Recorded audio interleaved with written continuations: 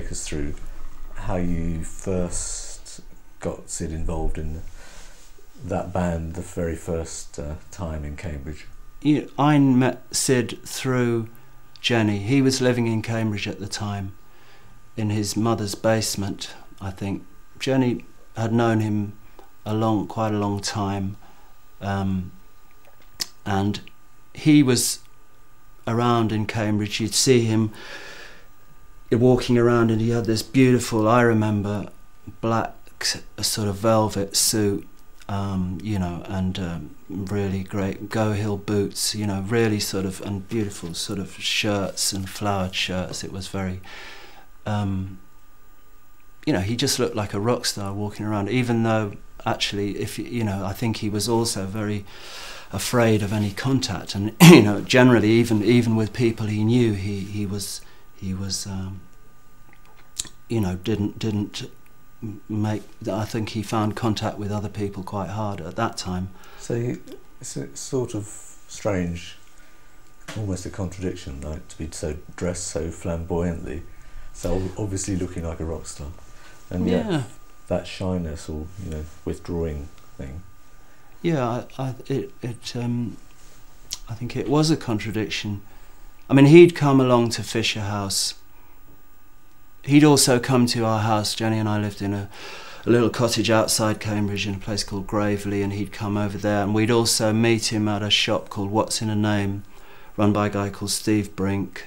Um, and we, I think we, yeah, uh, Twink would come there. I can't remember where Twink was living. He was in Cambridge. I think he was sort of in between Cambridge and London. He was, um, you know, also on and off playing with the Pink Fairies, but.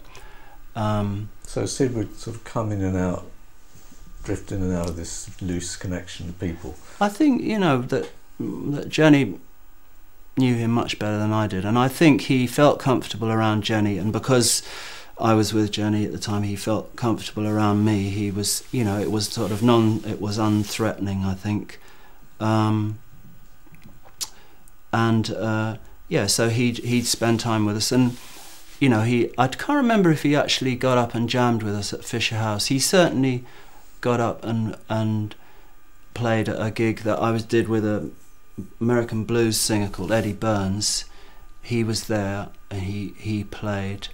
I also remember him.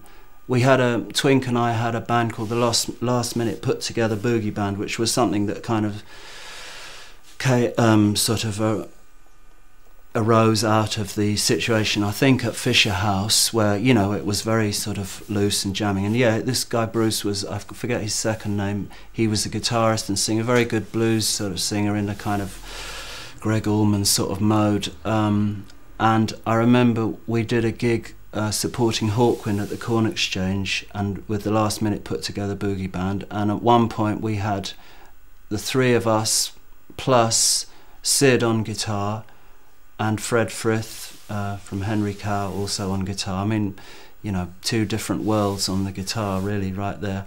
Um, possibly some other people as well. I, I think there probably were quite a few people on stage. I can't remember who they all were, but certainly I remember Syd and Fred being up there with us. Um, you know, and so I think that's how that's how Twink and I started playing with Syd.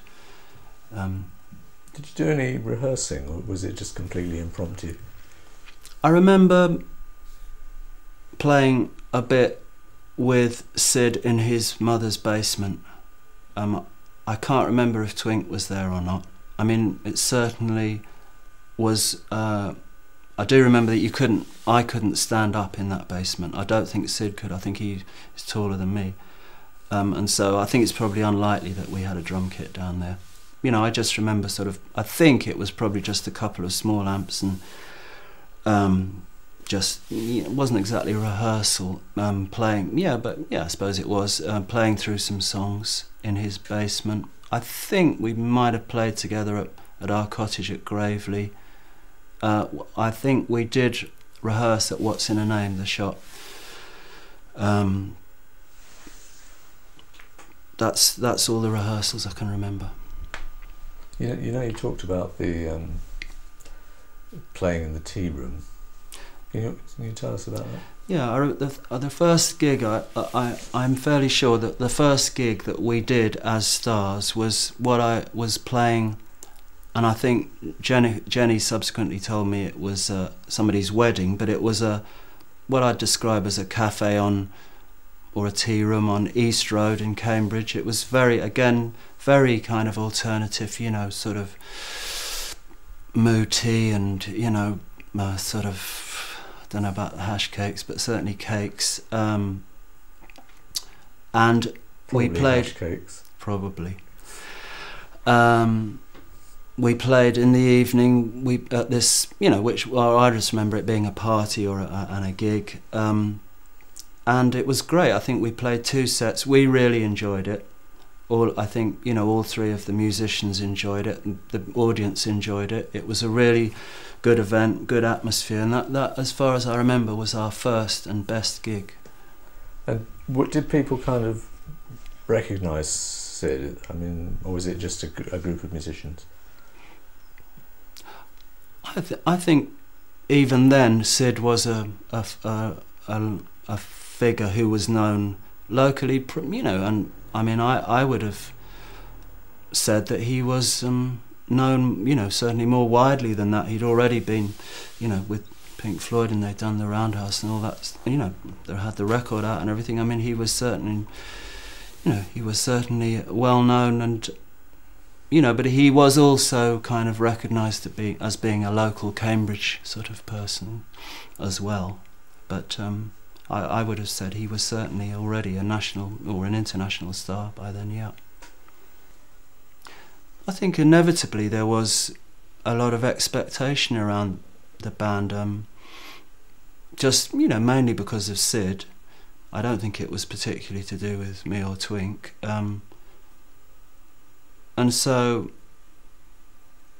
I think you know quite soon there was a pressure to well you know to to do the, the bigger gigs. I mean we as I said we'd already you know been used to sort of um, you know doing support gigs with for you know bands at the Corn Exchange. So I suppose it was a kind of a natural development. It was also um, to do with a guy called Steve Brink who was promoting things at the Corn Exchange at the time, and he was very, you know, energetic and and um, put a lot of effort into into putting things on, and we knew him.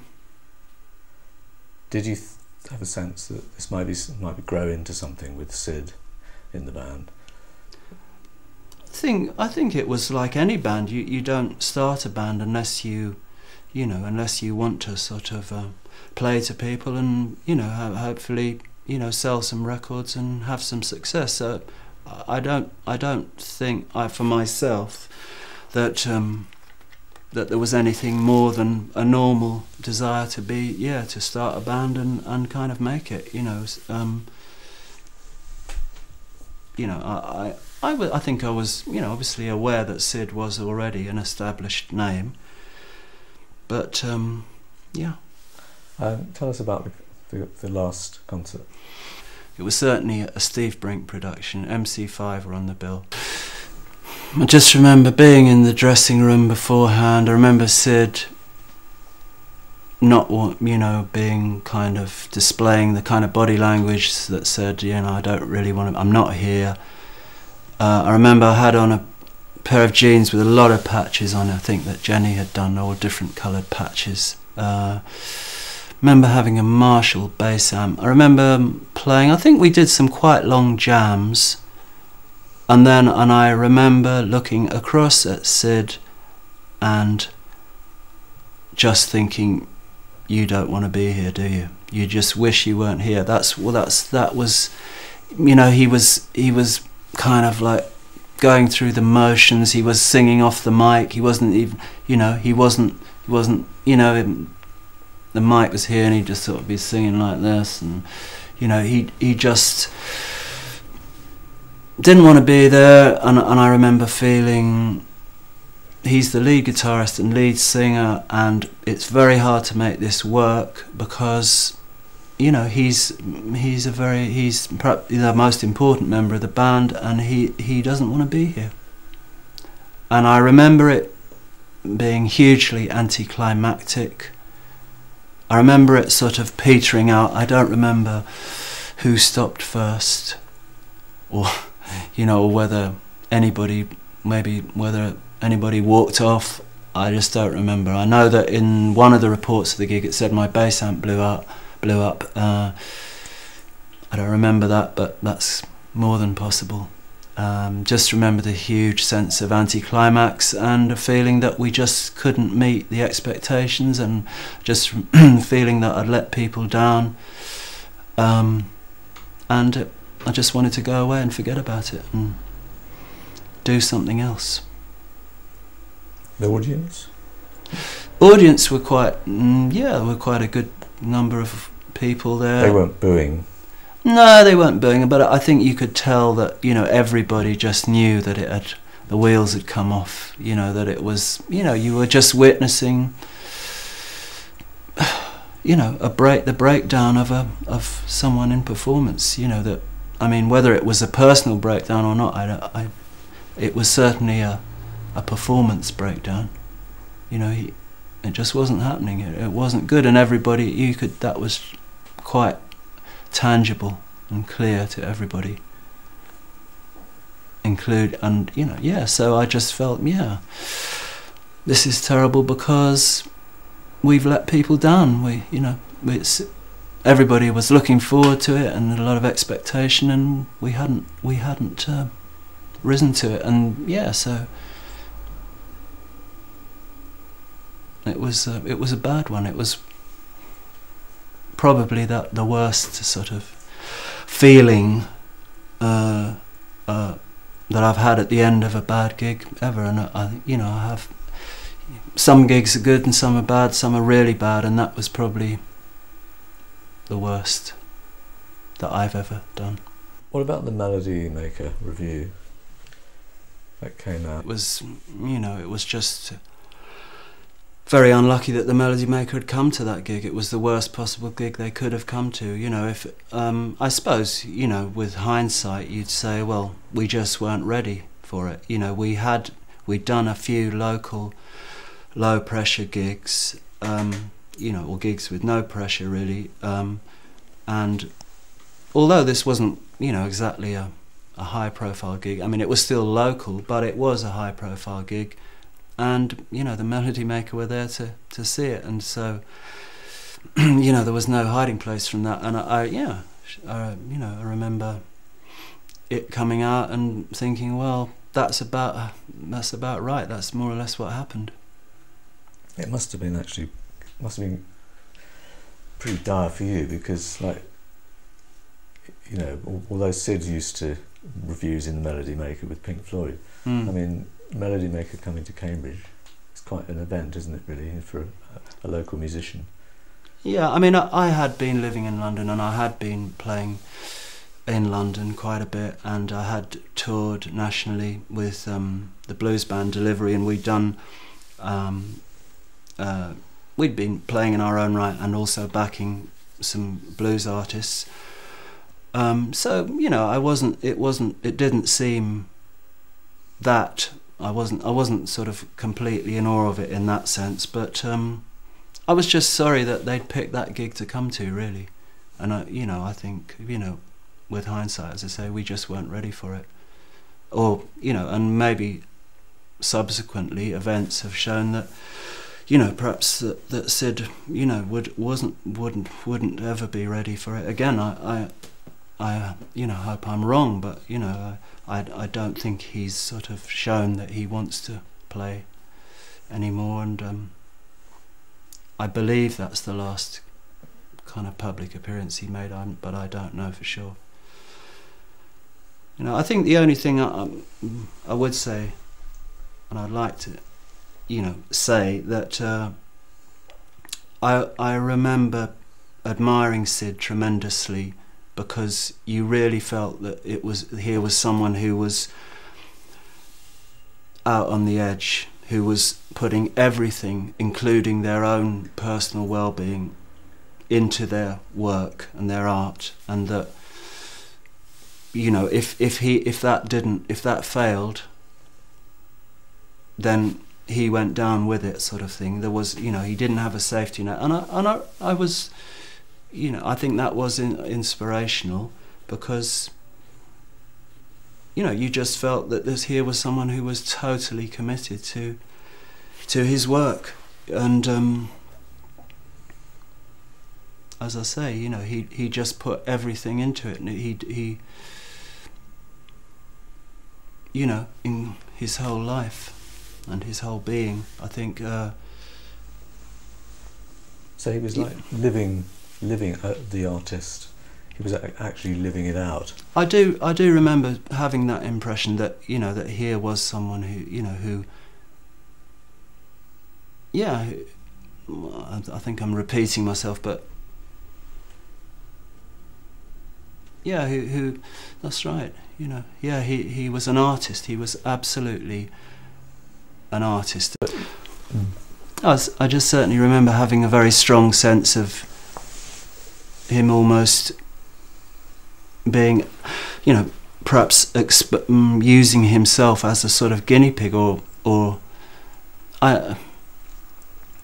That's that's putting it too strongly, but that you know that any that he would use any any experience or any feeling, you know, and, and and he would go to any lengths to get that experience, and and you know, and yeah, he would. I mean, because he was also a very good painter.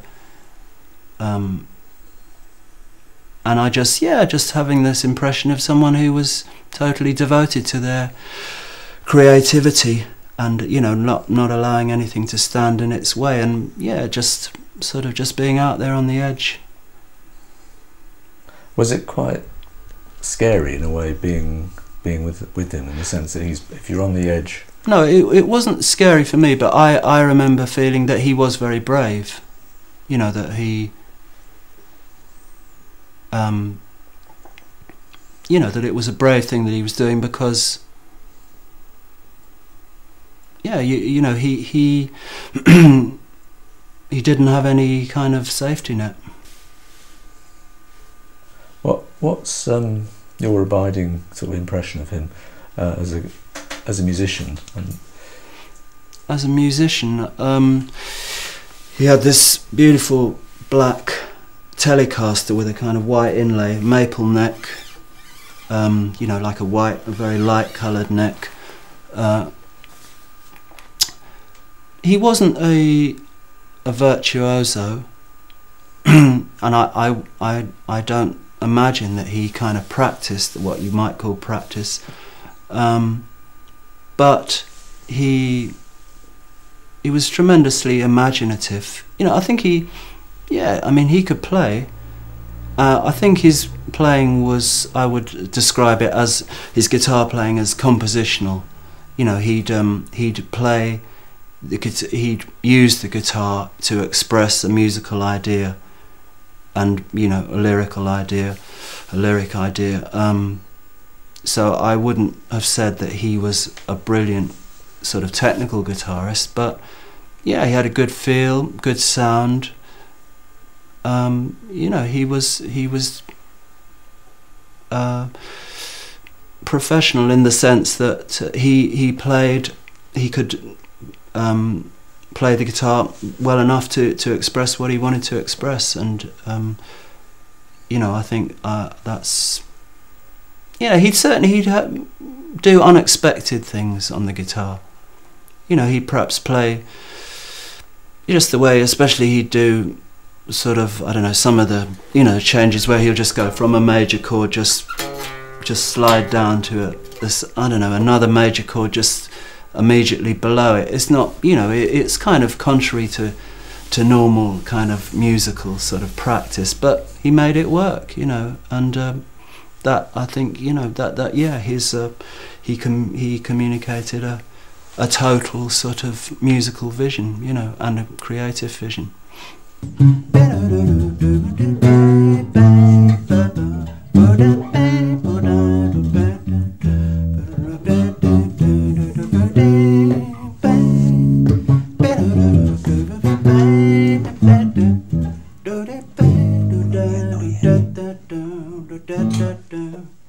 Okay.